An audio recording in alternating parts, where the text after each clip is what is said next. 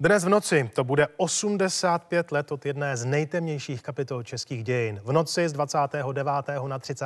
září podepsali zástupci Německa, Itálie, Francie a Velké Británie takzvanou Mnichovskou dohodu. Adolf Hitler dokázal zneužít rostoucího napětí mezi občany české a německé národnosti v pohraničí. Političtí reprezentanti evropských velmocí zase přivítali to, že se jim podaří odvrátit válku. Úmluva nařídila Československu vzdát se sudet. Přišli jsme zhruba o 30% území.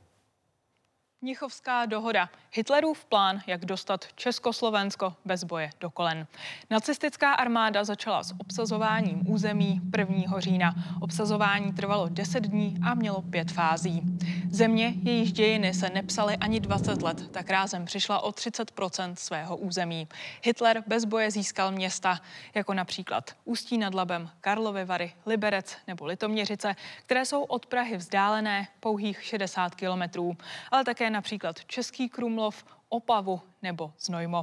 V následujících týdnech a měsících přišlo Československo o téměř 5 milionů obyvatel a zažilo nebývalý exodus. Za uprchlíky bylo ve vlastní zemi 170 tisíc lidí a také jsme přišli o 40% našeho průmyslu. Některá území si začaly nárokovat i další státy, například Polsko. 2. října vstoupilo do Bohumína a v následujících dnech obsadilo Těšínsko a některé části Slovenska. V listopadu na základě mezinárodní arbitráže si některá území začalo nárokovat také Maďarsko, konkrétně na Slovensku a v podkarpatské Rusy. Situace vyvrcholila odtržením Slovenska a o den později, 15. března, invazí nacistických vojsk. Svobodné Československo jako takové na příštích šest let zmizelo z mapy světa.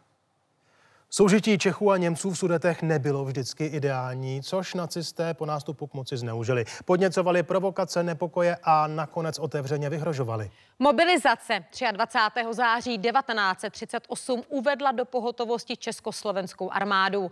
Moderní zbraně, výcvik, odhodlání i jedinečný systém opevnění ale byly bez podpory spojenců nakonec k ničemu.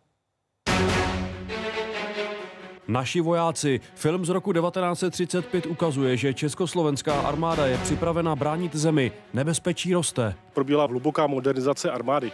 Nejen v tom, v tom smyslu, že by, že by se zaváděly no, nové zbraně, ale v podstatě byla snaha o velkou motorizaci armády, byly tam vytvářeny nové útvary, byla stavba rychlých divizí, bylo posilováno tankové vojsko. V pohraničí houstla atmosféra, sudečtí Němci vznášeli čím dál víc nároků. Po zabrání Rakouska začaly henleinovské provokace a ozbrojené útoky. Neměl jsem v životě nikdy strach. Byl jsem vždy optimistou a můj optimism je dnes silnější než kdy jindy. Mám nezlomnou víru v náš stát, v jeho zdravost, v jeho sílu, v jeho odolnost, v jeho skvělou armádu a v nezdolatelného ducha a oddanost všeho jeho lidu. Do Mnichovské dohody zbýval týden, když vláda vyhlásila jako odpověď na Hitlerovo vyhrožování mobilizaci. Dôstojníci a rotmajstri z povolania a mužstvo v činnej vojenskej službe meškajúce na dovolenej sa vrátia i hneď svojim útvarom. Armáda povolala 1 a čtvrt milionu mužů. K obraně bylo připraveno 350 tanků, 5 tisíc dělostřeleckých hlavní a 950 bojových letounů. Všichni byli u toho radia, poslouchali jsme. Ano, ano. A najednou ta mobilizace, to byla vám, to, u té osadky vám taková ohromná radost, ano, že jsme se dočkali ano. toho, proč tam vlastně jsme. Ze systému opevnění měli Němci respekt. V případě postupu do vnitrozemí by znamenal nepříjemnou překážku opevnění, plán na územní obranu Československa. Od roku 1935 začala na našem území vznikat řada bunkrů a pevností.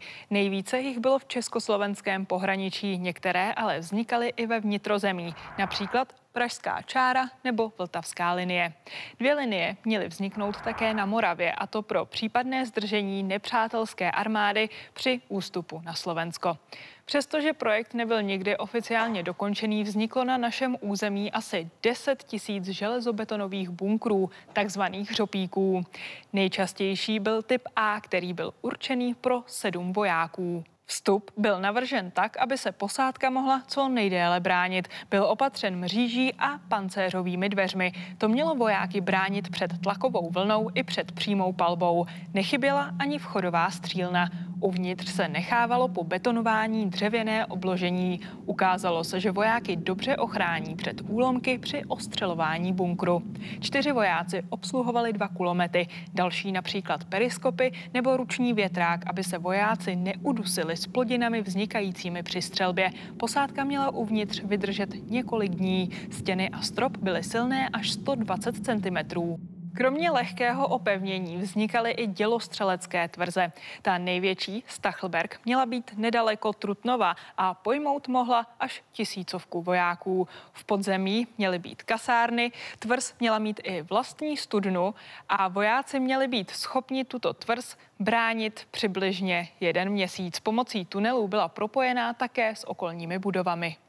Mnichovská dohoda znamenala konec. Přišel rozkaz nestřílet a odejít. Otočil jsem se ještě na tu krajní pevnost a viděl jsem, jak Němci už tam přijíždějí a jak všechno prohlíží, jak to obcházejí dokola. Otázka dodnes je, jak moc by opevnění pomohlo. Němci ho měli díky špionáži zmapované a dokázali by ho nejspíš obejít či překonat. V tom stavu, v jakém bylo, to znamená dokončeném, jsme už v té době jsme neměli dost vojáků, abychom ho plně obsadili. Mnichov zapříčinil konec československé územní celistvosti. Němci vyhráli bez boje. Pohraniční sloup a ikonická fotografie, na kterého sfanatizovaný DAF vyvrací, umístěné v armádním muzeu na Žižkově. I to jsou doklady nadšení, s jakým podpis Mnichovské dohody přivítali sudečtí Němci. Signatáře Mnichovské dohody veřejnost oslavovala jako ty, co zabránili válce, jen ji ale oddálili. Já si myslím, že ani Daladie, ani, ani Chamberlain si nemysleli, že oni tomu Hitleru věřili a že prostě Možná, že tušili, ale že, že, že to rozpoutá takový světový konflikt si myslím, že oni v té době ani nepředpokládali. Zbytek Československa Hitler zabral za půl roku. Ani ne rok po podpisu dohody začala druhá světová válka. Ondřej Špalek a Kateřina Vodvářková, televize Nova.